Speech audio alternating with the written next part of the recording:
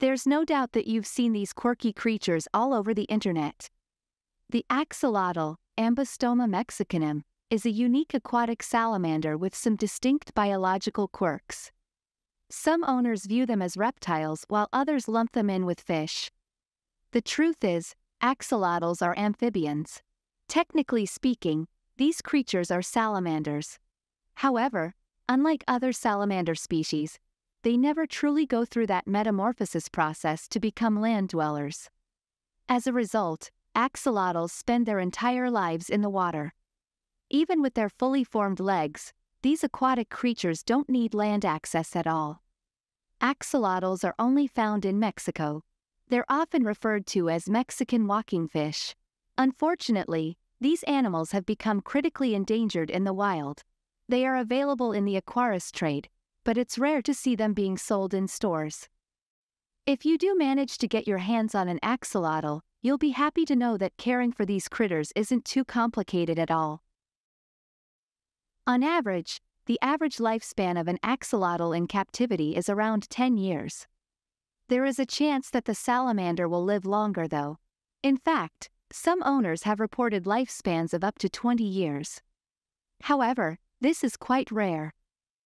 Axolotls are highly sought after because of their unique looks. The shape of the axolotl is like a cross between a fully formed salamander and a tadpole. They have long slender bodies complete with four thin legs.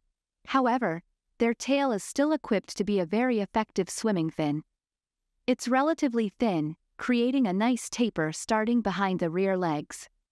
The expansive fins on the top and bottom of the tail actually make it look much bigger though. The head of the axolotl is pretty interesting as well.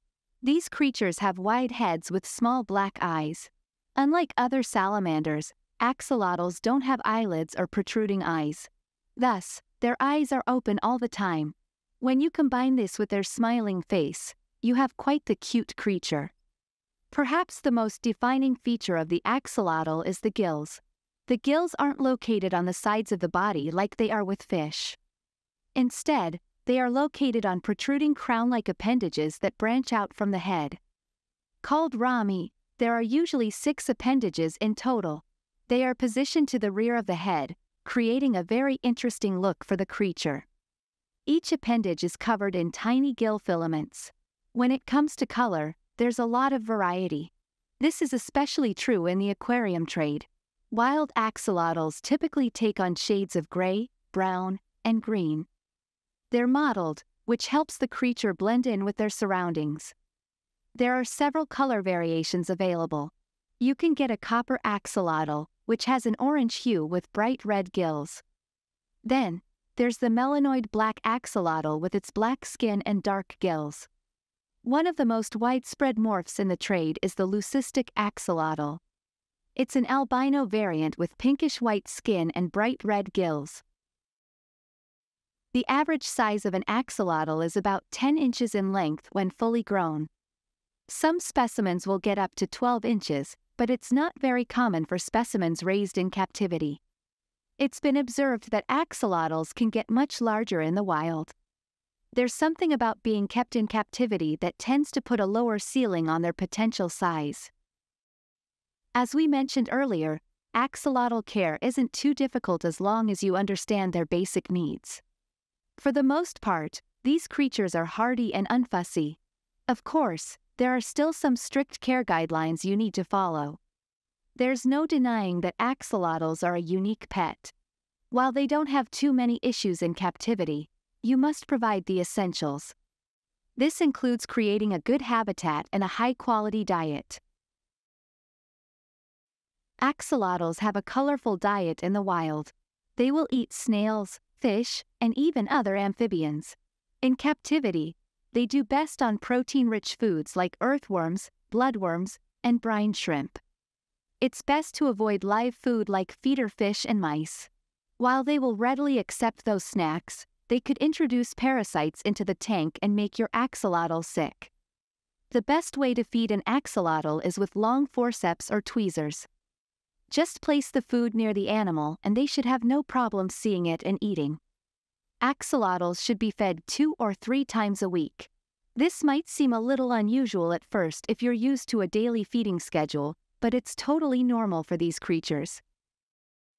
These creatures are honestly a complete joy to watch. They can also get quite active when they notice someone watching them. Many axolotls will swim around the tank and give you a little bit of a show. This is one of our favorite things about them. When they're not entertaining, axolotls are quite calm and relaxed. That is, however, unless they are kept with other creatures. Axolotls can actually get quite aggressive with fish and other animals in the tank.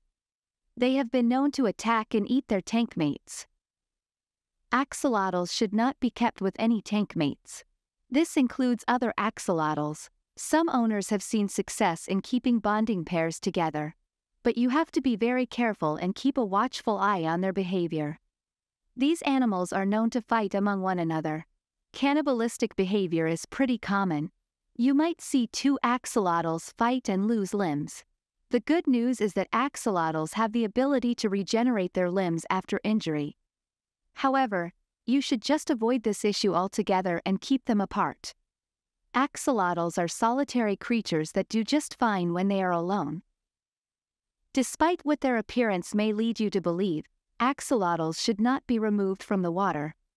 In fact, they shouldn't be handled at all.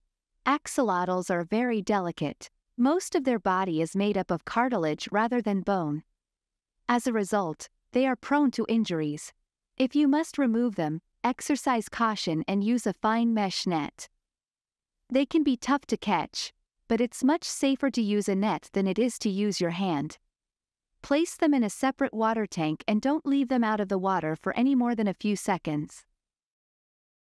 Thank you for watching. We hope you know a lot about axolotls.